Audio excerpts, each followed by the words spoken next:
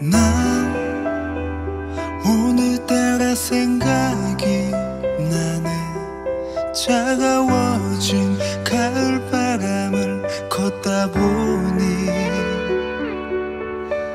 왜 이 세상엔 이리도 힘든 것이 너무 많게 느껴만 지는지 爱。